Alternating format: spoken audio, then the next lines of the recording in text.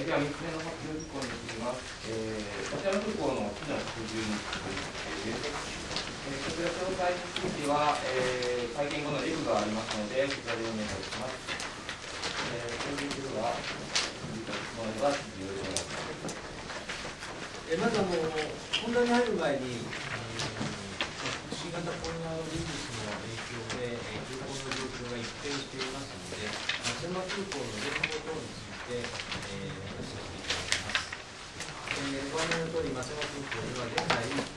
上海、台北、ソウル、すべての国際線が運休しているほか、国内線についても、基幹路線である羽田線、また伊丹線を中心に減便を余儀なくされており、昨年度1年間の利用者数は294万人、速報値でございますけれども、えその前年え、過去最高を記録した30年度は312万人で、平成30年度は312万人でしたから18万人の減少と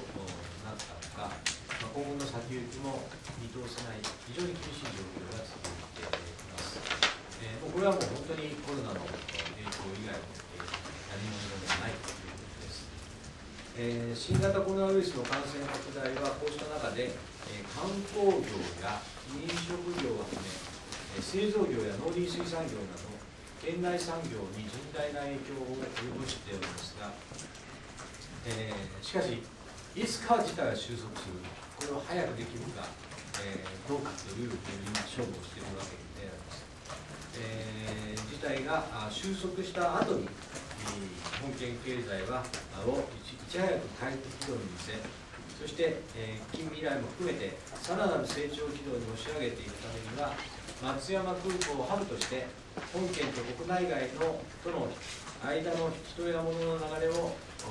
早期に復活させ、え反転攻勢のもと交流人口のさらなる拡大を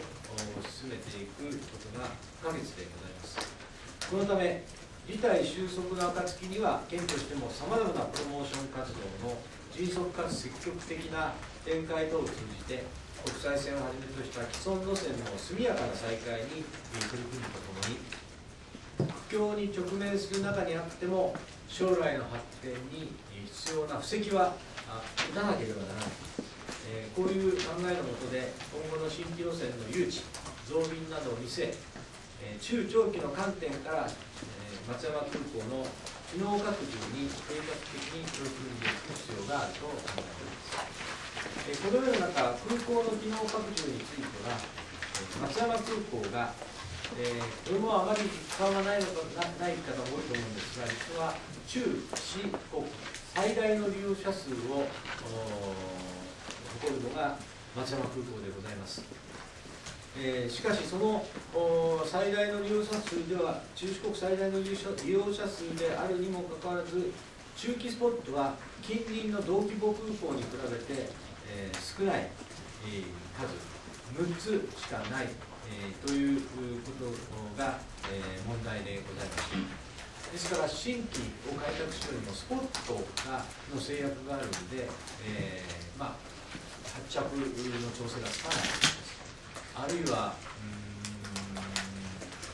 せっかく新規開拓できてスポットの調整がついたとしても、えー、早朝便しかあ飛ばせないまあ、いろんな制約がこの6つでは出てきてしまう。ということで、え昨年6月に、え私の方から国土交通大臣に対し、え中期スポットの早期増設を強く働きかけさせていただき、7月には、え菅官房長官にも、え直接要望をさせていただきました。えその結果、え今回国の本年度予算において、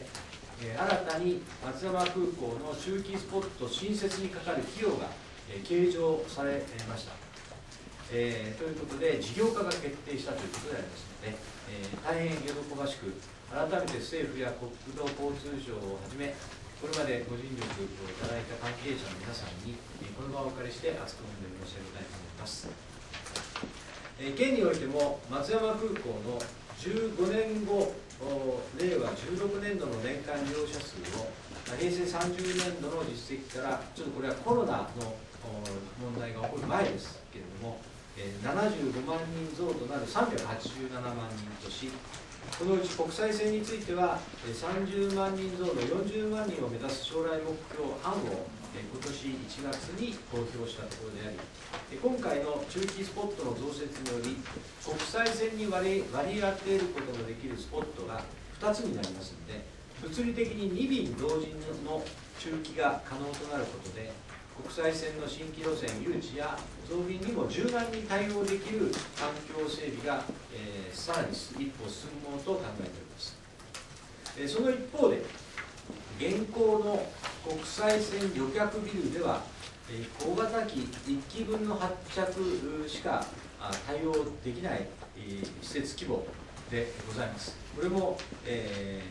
大きな問題でございまして、え本件では中期スポット増設の働きかけと並行して、昨年度から将来の国際旅線旅客ビル拡張計画について、町内検討を進めてきたところであり、この度、拡張計画の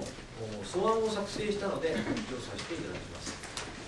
この素案の作成にあたりましては、2機同時に、2便同時に対応するために必要となる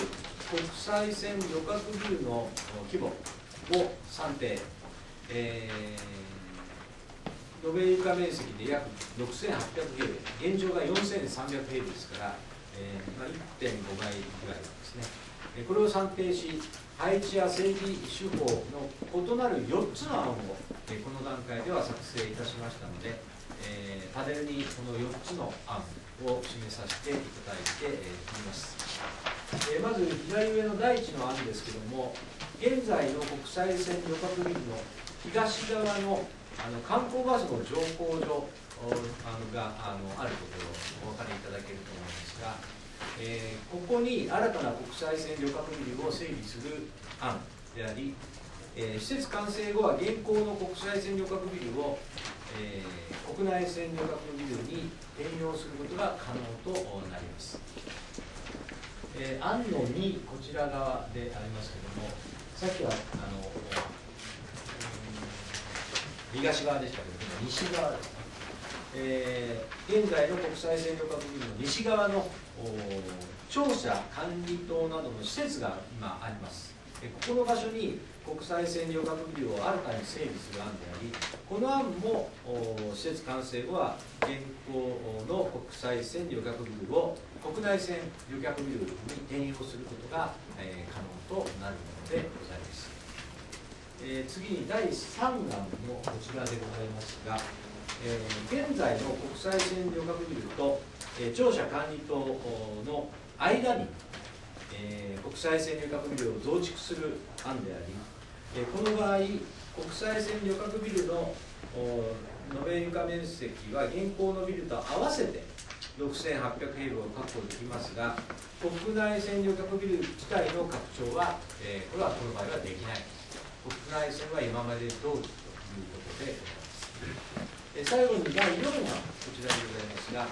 え施設整備の最終的な姿は、えー案の2、こちらと一緒になりますが、えー今後の国際線の新設増便の状況に合わせて、えーこちらはあの一気にある第2案、えーこちらはあの、うん、2段階で整備するいう状況を見ながら2段階で整備するのが最終の姿は一緒ですけども2段階に分けてやるという案でございます。えーまあ、いずれの素案も、え既存施設、え調査管理棟やバスの乗降所、えこの移転をしなければならない案で、えあります。え国や関係団体、バス、タクシー等の民間事業者の意見も、え十分、えー踏まえる必要がある、えーそして、えー空港利用者目線でのスムーズな動線確保や空港全体の利便性向上の観点から多面的な検討が必要となる。また空港利用者の増加に伴って国内線旅客ビルも混雑する時間帯が皆さんもお感じになっていると思いますが増えてきておりました。この問題への対応についても検討を要することえこういったことがありますので、複数の素案をえ用意して、え議論の土俵に乗せたいということで用意させていただきました。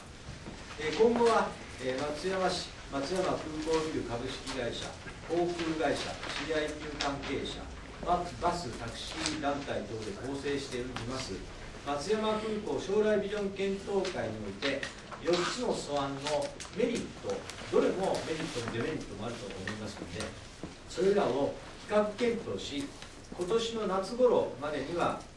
最終的な拡張計画案をこの4つの中から1つにえ絞り込んで、え空港を管理運営する国等との間で整備に向けた具体的な協議にえ入ることを認じたいと思います。ま、今後、新しい中期スポットの増設完了時期も見据えながら、新たな国際線旅客ビルの整備を進めていきたいと思います。えー詳細につきましては、事務方の方から後ほど説明をさせていただきます。